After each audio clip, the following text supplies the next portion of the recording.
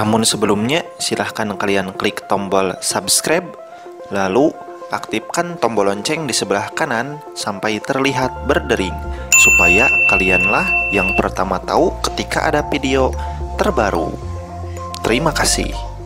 Assalamualaikum Halo teman-teman semua Bagaimana kabar kalian hari ini? Hari ini saya mendapatkan satu buah SMS yang cukup mengejutkan ya Di mana pada tahun 2021 masih ada orang yang menggunakan jasa uang goib Atau uang pesugihan Hal-hal berbau mistis atau goib memang tidak bisa dipungkiri ada ya tetapi jangan sampai kita gelap mata untuk melakukan tindakan-tindakan ilmu hitam yang jauh menyalahi aturan agama kita. Penawaran pelunasan hutang menggunakan uang goib pun masih terjadi banyak melalui SMS. Dan isi dari SMS tersebut memuat kesaksian orang yang telah menggunakan jasa uang goib tersebut. Tapi bisa saya pastikan, SMS semacam ini adalah penipuan modus terbaru di Indonesia. Jadi kalian hati-hati, jangan sampai gelap mata ya. Ingat, sesusah-susahnya hidup, jangan sampai kita menggadaikan keimanan kita. Jangan sampai kalian terjerumus ke dalam hal-hal negatif seperti ini. Kalian jangan sampai tertipu dari janji-janji yang menggiurkan dari dukun pesugihan lewat SMS seperti ini. Dan anehnya, ketika kita klik link yang tercantum di dalam SMS tersebut, justru kita dikenakan biaya yang harus kita bayar jika ingin mengikuti pesugihan ini. Misalnya, untuk tingkat 1, maka penarikannya sebesar 100 juta sampai 400 juta. Maka kita harus membayar mahar sebesar 1 juta. Angka yang luar biasa ya. Selain itu, pada tingkat 2 dengan penarikan sebesar 500 juta sampai 1 miliar, maka mahar yang harus dibayar oleh kita adalah 2,75 juta.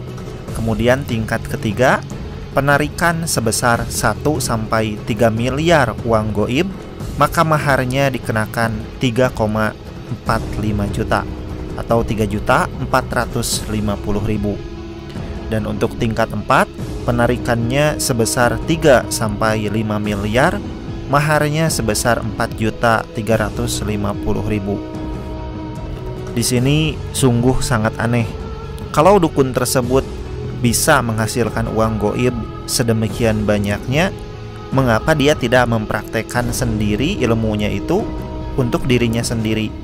Mengapa harus mengiklankan ke banyak orang melalui SMS seperti ini dan mengajak orang lain untuk ikut di dalam permainannya?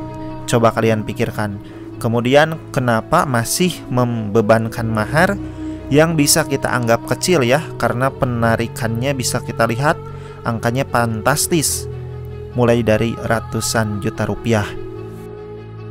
Walaupun terkesan janggal dan tidak masuk akal, tetapi dukun tersebut punya kalimat wejangan yang ampuh bagi para konsumennya. Dan ini menurut saya untuk mengelabui konsumen yang ingin membutuhkan uang goib tersebut. Di mana Ujangan tersebut adalah pesugihan ini dibutuhkan tekad, niat, dan juga kesabaran. Apabila gagal, maka biaya akan kami kembalikan dua kali lipat.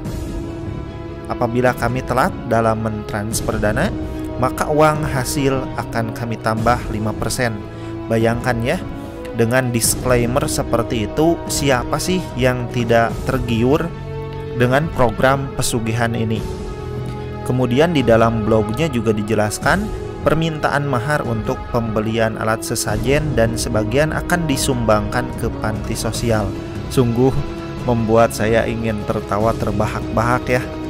Saya ingatkan kembali, kita sebagai masyarakat jangan sampai bisa tertipu dengan cara-cara penipuan seperti ini. Akhir kata, terima kasih sudah menonton.